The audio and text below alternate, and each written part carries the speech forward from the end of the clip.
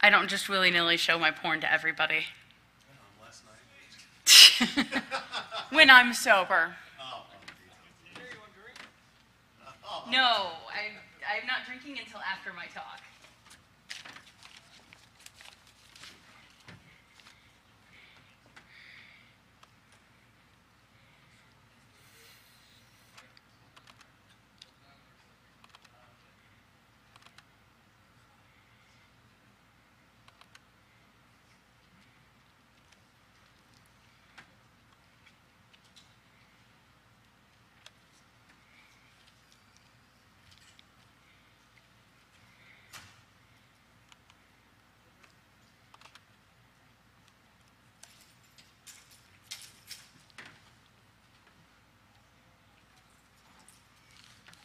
and give you a brief introduction if you haven't started yet. No, I haven't started yet. Well, you need an introduction. You deserve one. Okay. Everyone, Thank you.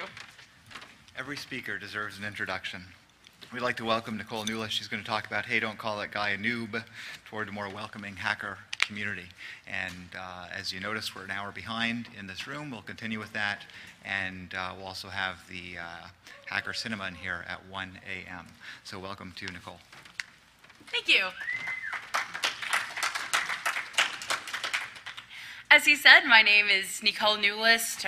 Nicolle, Nikki, Rogue Clown, Hey Blue. I mean, I answer to just about anything. And I'm here to talk a little bit about how the hacker community can be a little more welcoming to new people. First of all, a few words about who I am. Um, I live in Chicago. I helped start Pumping Station One, which is the hacker space in Chicago. Um, got involved with that in December of 2008 and have been involved with it ever since. Um, but a little more pertinent to this talk, I'm still fairly new to the hacker community. Um, I didn't stumble across anything particularly hackery until early 2008. Um, a night of random Wikipedia clicking at you know 4 a.m. when I was in law school and bored out of my mind um, led me to the Phone Losers of America.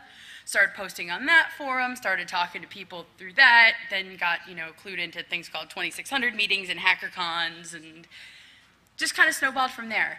Um, my first HackerCon was actually the Last Hope, and then you know I've been going to quite a few ever since, just going around meeting a lot of people.